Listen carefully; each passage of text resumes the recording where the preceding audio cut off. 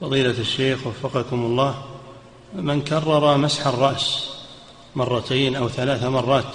خلاف السنة خلاف السنة السنة أنه يمسح مرة واحدة إذا كرره يصير يصير غسل ما هو مسح. إذا كرره صار غسلا. نعم.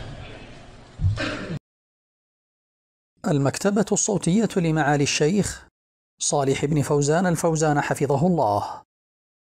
فتاوى شرح كتاب العمدة في الفقه للإمام ابن قدامة المقدسي الحنبلي رحمه الله مرتبة على أبواب فقهية.